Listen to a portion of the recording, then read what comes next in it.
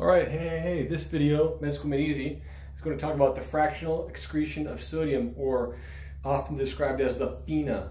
Um, what this looks at is you take uh, serum lytes and urine lytes and you compare them and you try and determine what the cause is for the patient's azotemia uh, or you know dysfunction of their um, uh, uh nephro system, essentially.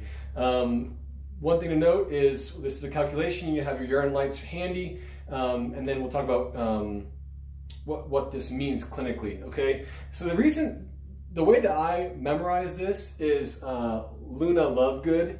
Um, now, I know that's like totally random, but the reason why is because Luna is the first thing, okay? So if you just remember Luna Lovegood, like that weird guy on YouTube talked about Luna Lovegood with FENA for some reason, you have your urinary sodium, and then you know that um, everything is just opposite, okay? So what you're looking at is sodium and creatinine, so everything's opposite. So the opposite of U, in this case, is S, opposite of sodium is creatinine. And then just flip it, right? So then urinary creatinine times serum sodium.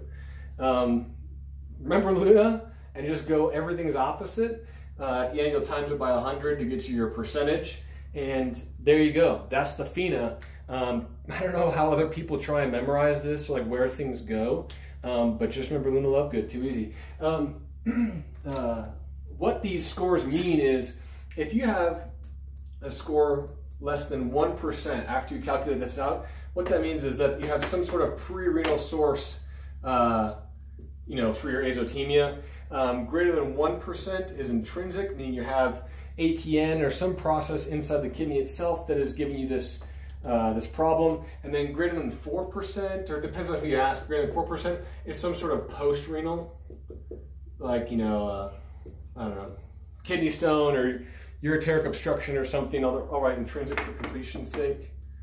Um, most common cause of pre-renal would be something like dehydration, uh, and then one thing to talk about is the limitations of FENA are uh, it is that if a patient is on diuretics, which a lot of sick people, especially nephro patients, especially people that you'd be calculating this on, are on uh, diuretics, they, uh, it makes this scoring system a bit wonky. It uh, artificially changes the numbers. So you should use a fractional excretion of urea, F-E-U-R, which we have a different video on. It's gonna be very similar to this one.